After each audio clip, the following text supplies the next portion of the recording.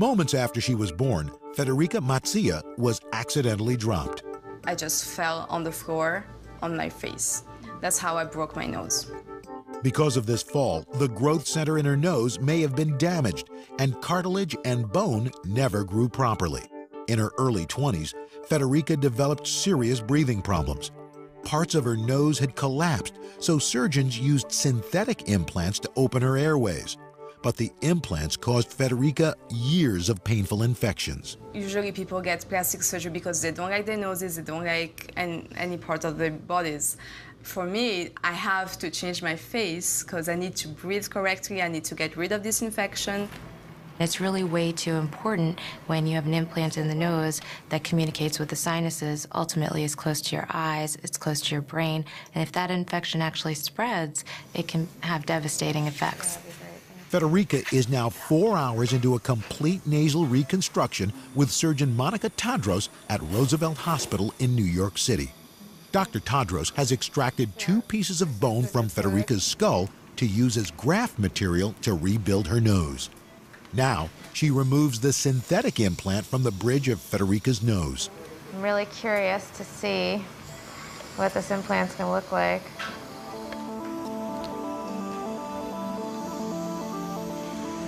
You really have to be meticulous to get every last nook out, because that could be another source of infection. That's, that was the part on top. So that was here. So we have one full piece of bone that we'll be able to carve down to reinforce her nasal bridge. The second piece was a thinner bone that we're going to use to recontour the premaxillary area. So what we're trying to do is fashion the premaxillary graft to sit properly here. So we're going to try and set it to reconstruct part of that ledge so the nose can sit on something a little higher. Dr. Tadros secures the graft with biocompatible titanium screws. And that creates a really nice platform.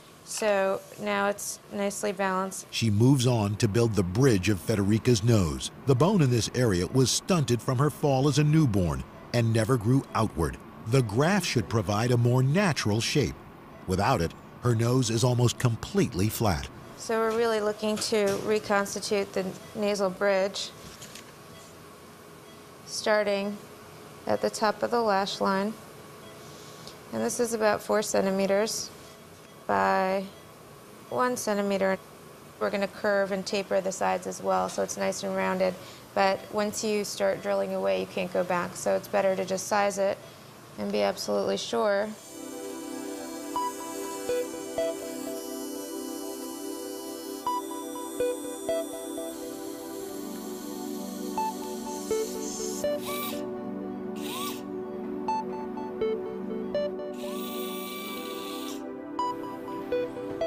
So that's really tight. The bone grafts are in, but Dr. Tadros still needs to create the tip of her nose.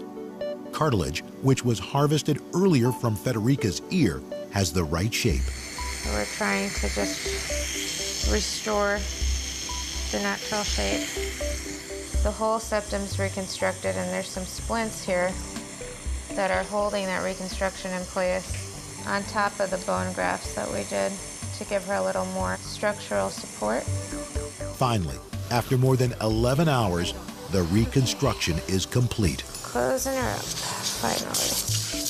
Uh, it was definitely one of the toughest nasal reconstructions that I've ever seen.